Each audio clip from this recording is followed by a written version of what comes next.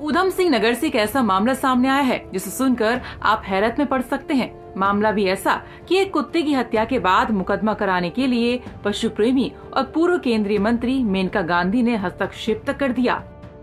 दरअसल एक बहू अपने मोहल्ले के कुत्ते और उसके तीन चार बच्चों को रोज़ाना कुछ खाने को देती थी। कुत्ते के मोहल्ले में आने से बहू के ससुर और उसके पति को अच्छा नहीं लगता था। इसके बाद बताया जा रहा है कि पिता पुत्र ने रात में कुत्ते को पीट पीट कर मार डाला। कुत्ते की मारने की वीडियो सीसीटीवी में लाइव कैद हो गई। ये 22 फरवरी शाम के समय की घटना है। एक डॉगी थी, वो हमारे यहाँ आती थी, मैं उसको दोनों टाइम खाना देती थी। ये मेरे ससुर और देवर को अच्छा नहीं लगता था।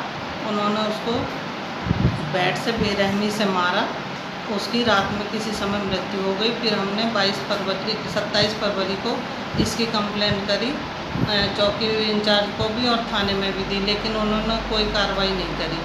ये मे, मेरे देवर ऐसा ही हैं हल्द्वानी में प्रवीण कुमार जिनके प्रभाव से पुलिस ने कोई कार्रवाई नहीं करी। चार महीने बाद जब कोई कार्रवाई नहीं हुई तो हमने मेनका गांधी जी को ईमेल किया मेल करा। उस पर उन्होंने वीडियो डाली हमने तो उन्होंने तब एक्शन लिया। तब उनके एक्शन के कारण तब इन्होंने जो है कंप्लेंट दर्ज कर जैसा आपने सुना कि पुलिस ने मेनका गांधी के हस्तक्षेप के पशु क्रूरता अधिनियम के तहत मामला दर्ज कर लिया है। वहीं पुलिस का कहना है कि मामला दर्ज कर लिया गया है और संबंधित धाराओं के अनुसार मामले में आगे कानूनी कार्रवाई की जाएगी। किसी व्यक्ति द्वारा ये शिकायत की गई कि किसी कुत्ते के साथ गाँव के लोगों ने जो है मारपीट की है उसका कोई वीडियो या कुछ फुटेज उन्होंने उपलब्ध कराया?